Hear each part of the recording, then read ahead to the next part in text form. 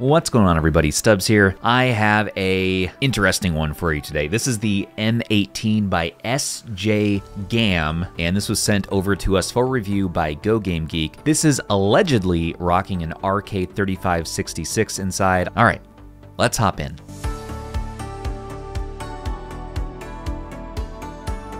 Look at that mad face. You may know SJ Gam for their previous device, the M17. Look at that badonk. Big ergo grippy back, sloped shoulder buttons. That's nice to see. You can see the battery in there. And they actually have their branding on the battery, SJ Gam. Very strangely diagonally placed select and start. Looks like volume up and down here, home button. D-pad feels much better than the M17. Yeah, you get some nice pivot there. These buttons are rubber membrane. They have a decent amount of play here, and the travel feels good. Really no complaints about the buttons here in general. D-pad is loose, definitely a loose style, but I kind of like the feel of it. Of course, on the back, these slope triggers are kind of cool. Quiet clicky, a soft clicky. Take a close look at that. Look at those huge bump outs on the back. Definitely reminiscent of the RG405V from Anbernic. Along the bottom here, you have a USB-C, a micro SD card slot, 3.5 headphone out, and then a toggle for on and off. Nothing on the left, nothing on the right, nothing on top. One mono front firing speaker, Kind of reminds me of the old RG351V. Yeah, I would say ergonomics actually feel pretty solid on this. PSP and GBA both should look pretty decent if it can actually play PSP games. Now, this sells on Go Game Geek for $90. With coupon, you can take 10% off. Use the discount code in our description. You have two different colorways for this. You have transparent black and you have gray. It's a nice matte plastic though, and it feels pretty decent quality definitely comparable to the 351V here. It's also reminiscent of the D007 by Game Console. Take a look at a little size comparison here. And here's an R36S from Game Console, as well as tried and true RG35XX units. Yeah, I would say face buttons both feel a bit better on this than the M17, so definitely an improvement there. Still not as good as an Anbernic style face button, this you get a bit more, a bit more play, but nothing wrong here. I mean, this isn't bad. It's it's totally serviceable. I would have liked to seen maybe higher quality plastic on these buttons. They do feel sort of cheap. But we have a lot of RK3566 devices. The most popular really has been the RGB30 from PowKiddy. Joysticks feel to be the same joystick, really. I mean, these are both switch size and switch style, meaning they're going to be compatible with various joystick caps for that size. I do like these sloped shoulders though, and they feel comfortable to grip. Looks like there's a bit of film on the screen.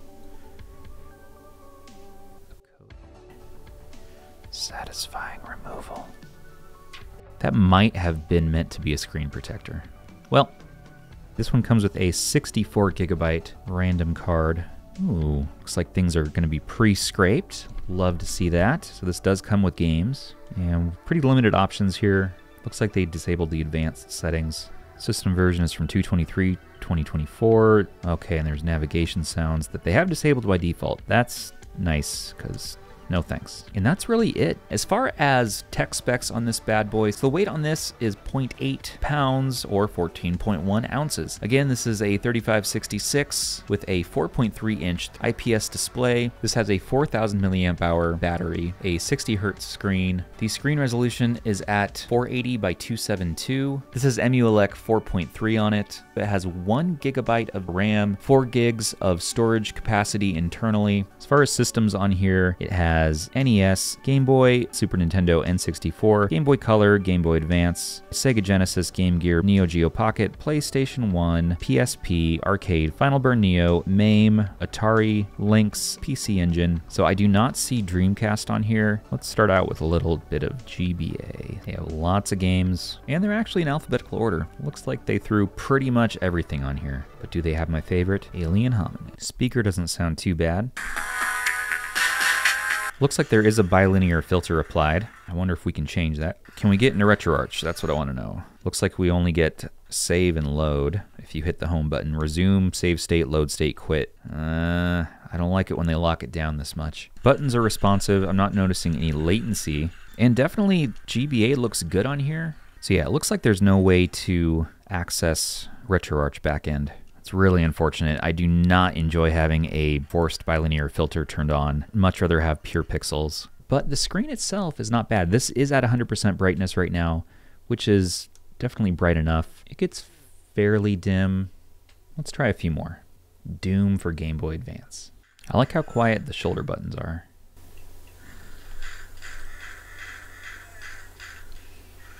PSP. Looks like we got some God of War on here. Again, no options to get into the settings, so I would love to see some custom firmware on this. Now this is actually running really smooth, and I'm not seeing any sort of annoying filter over this either, so this is, yeah, this is feeling good. We have no way to turn on a frame counter, but this feels smooth. I'm not sure if we have any sort of frame skip enabled, but it's having no problem.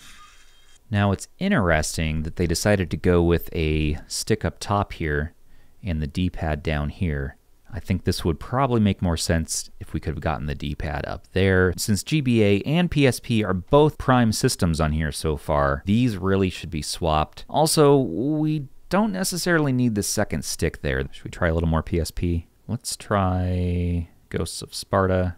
The AliExpress listings I've seen as low as around $51, but not for this specific model number. So I'm not sure what you're getting there. You know, at least everything's seemingly mapped correctly. This one is having what looks like frame skip enabled a little bit. Let's test the headphones.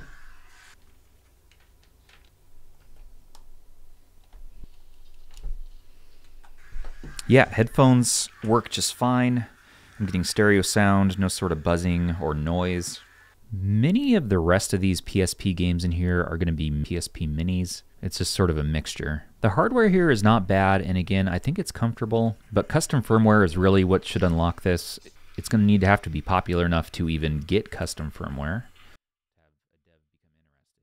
But speed-wise, I mean, this, this seems to be handling things pretty well.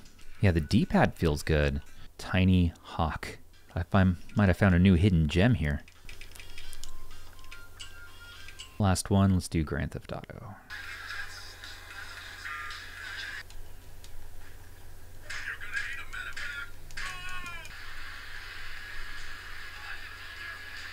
Yeah, this game feels good. Pretty, pretty, pretty good. Let's try some N64. Good old Mario Kart for our friends at Nintendo. Now there is some slowdown for you. Unoptimized N64 emulation. Gotta love it. Now it's really unfortunate you can't get into settings. Yeah, this is this is terrible for N64. This wouldn't be terrible again if we had custom firmware to configure and make this be unstupid. Well, that was a terrible experience. I regret every moment of it.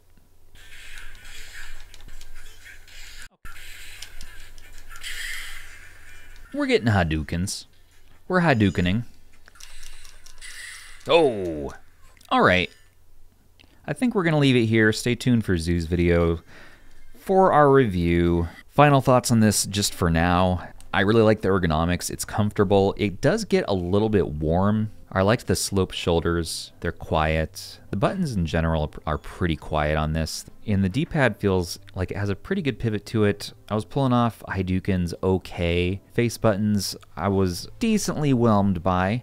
Start and select visually are odd, but they're totally fine. You know, the screen really doesn't look too bad. It looks similar to the RG351P. For the price, I would say it's a little bit spendy for what you're getting here. Not only the fact that you have these bilinear filters that you can't turn off, you can't get into any settings to adjust anything. N64 is just a non-starter on this.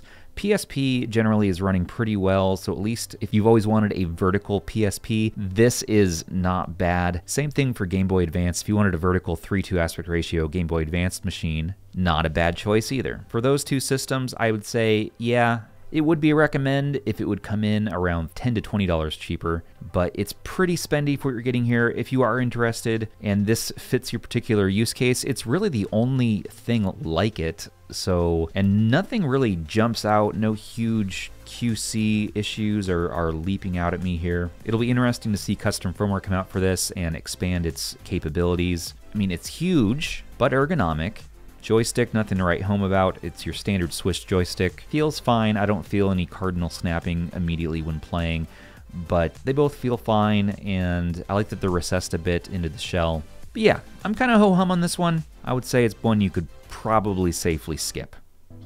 Let's wrap up. Well, what do you guys think about the M18? Don't forget to like, comment, and subscribe for your dose of handheld goodness. Check out our other videos, join us on Discord to chat and play games, and join us on the next one. As always, this has been Stubbs. Take care of your handhelds, everybody, and each other. Bye.